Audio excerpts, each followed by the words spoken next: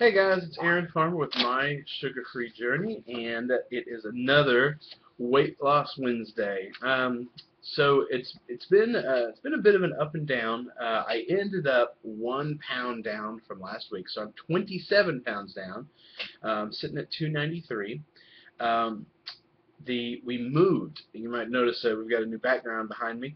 We moved uh, for the last week, and that really derailed me. There were there were several days when uh, we didn't have you know, I didn't have my stove. We were, you know, in and out. I couldn't really cook for myself. We had to get fast food, and it was shocking. Uh, it was really, really amazing how fast I put weight back on once I started eating, you know, just just two or three meals of greasy fast food because uh, because I, you know, I couldn't control the, I couldn't control cooking my own food. Uh, how fast I packed the, I mean, I was I was up to almost 300 pounds like nothing. I like it was nothing.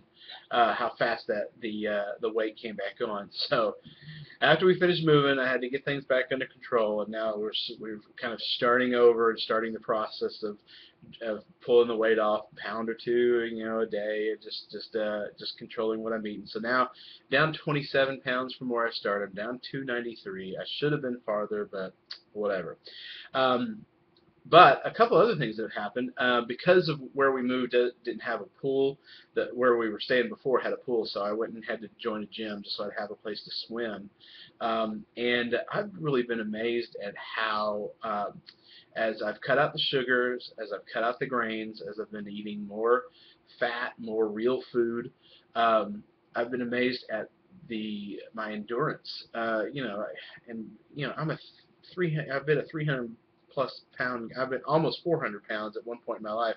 You know, endurance has never, you know, I've never really been able to do anything for a long period of time. But, um, you know, I can ride a bike for about five miles and I don't feel overly stressed when I get off. Uh, I can swim for uh, over about a half a mile a day, every day, and it, it doesn't really, like, it doesn't, uh, I feel it a little bit in my shoulders, but it doesn't just wear me down. You know, before, if I'd have tried to do that, I'd have had to come home and take a nap. You know, but uh, I, I don't feel it doesn't. You know, it doesn't really drain me like it used to. Uh, so that's been a really big, uh, a really big point in the plus column as I, as I've changed my diet, as I've changed what I've eaten, uh, just to see that weight come off. It's been it's been absolutely amazing. So I've got a new goal. My goal, I've never in my life done a pull-up. Never. Not even when I was a kid. I was, you know, I just, you know, it's too big, uh, and uh, was never able to do a pull-up. I think I want to do a pull-up. So, so that's what I'm working towards.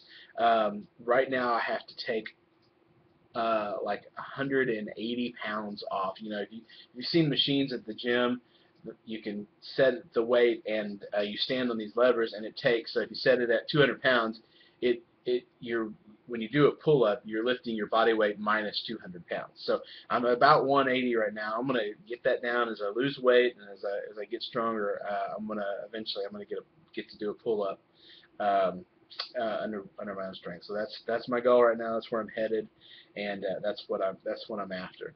Um, I posted an article the other day about the importance of having having the right attitude uh, as you cut the sugar out of out of your life, it's so crucial.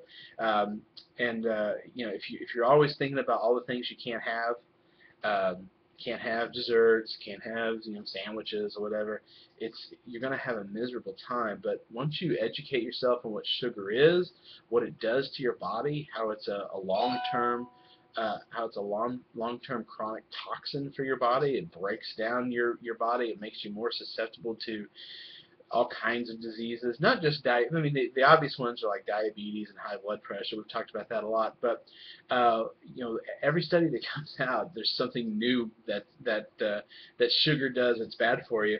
The last one I was reading says that sugar it doesn't cause cancer, but when you get cancer, cancer cells love high blood sugar. They love to they love all that sugar. They they they uh, metabolize that sugar. It's what causes them to to spread and to grow quickly.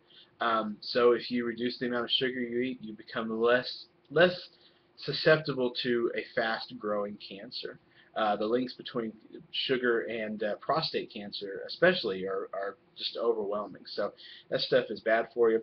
Now, just uh, you know, as my my personal struggle, the one thing that I have not been able to cut out of my diet, I know it needs to come out. I don't want it there, but goodness, uh, I was not prepared for how addicted I was to uh, to Coke Zero.